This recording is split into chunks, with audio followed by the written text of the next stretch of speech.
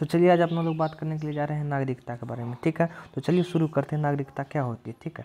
नागरिकता के बारे में बात कर रहे हैं, ठीक है? कोई भी देश अपने मूल निवासी को कुछ विशेष अधिकार देता है, देख, देखिए, कोई भी देश जो है अपने मूल निवासी को, मूल मतलब अस्थायी निवासी को कुछ विशेष अधिकार देता है इन अधिकारों को ही नागरिकता कहा जाता है, ठीक है? कोई भी देश अपने मूल निवासियों को कुछ विशेष अधिकार देता है, इन अधिकारों को अपना लोग क्या कहते हैं? नागरिकता कहते हैं। देखिए, विशेष अधिकार का मतलब आपका हो गया पैन कार्ड, आधार कार्ड, ये सब क्या हो गया? आपका विशेष अधिकार हो गया, ठीक है?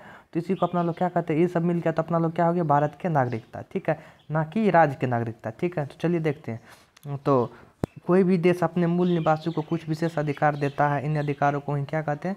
नागरिकता कहा जाता है। ठीक है, भारत में कौन, किस प्रकार के नागरिक, नागरिकता है? भारत में एक एकहरी नागरिकता है। भारत में किस प्रकार का नागरिकता है? तो भारत में एकहरी नागरिकता है। मतलब कि एक बार आप नागरिकता ले लिए तो दोबारा लेने की ज़रूरत नहीं है। ठीक है? ठीक है? तो चलिए अगले अगले टर्म की ओर देखते हैं। ठीक है? जैसे हम केवल देश के नागरिक हैं, राज्यों की नहीं। आपको पहले ही बता दिए कि हम केवल देश के नागरिक हैं, राज्यों का नागरिक नहीं, बल्कि निवासी हूँ। राज्य का क्या है? अपना लोग निवासी हूँ। राज्य का नागरिक नहीं हूँ, ठीक ठीक है? तो भारत, देखिए, हम केवल देश के नागरिक हैं राज्य राज्यों को नागरिक नहीं, ठीक है? बल्कि राज्यों के निवासी हूँ, ठीक है? भारत में नागरिक, नागरिकता कहाँ से ली गई है? तो आप लोग कह सकते हैं कि भारत में नागरिकता कहाँ से ली गई है? तो ब्रिटेन से ली गई है। भारत में नागरिकता कहाँ से ली गई है? भारत में नागरिकता ब्रिटेन से ली गई ठीक है? तो चलिए अगले टर्म की ओर बढ़ते हैं। है भारत की नागरिक, भारत की नागरिक 1950 के अधिनियम पर आधारित है।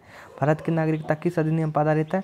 देखिए, भारत की नागरिकता 1950 के अधिनियम पर आधारित है। भारत की नागरिकता किस अधिनियम पर आधारित है? तो आप लोग कह सकते हैं कि उन्नीस सौ पचास के अधिनियम पर आधारित है, ठीक है? तो पहली बार में पहली बार संशोधन उन्नीस सौ छियासी में किया गया। इस नागरिकता को पहली बार संशोधन, यानी कि भारत की नागरिकता को पहली बार संशोधन कब किया गया? उन्नीस सौ छियासी में किया गया था, ठीक है?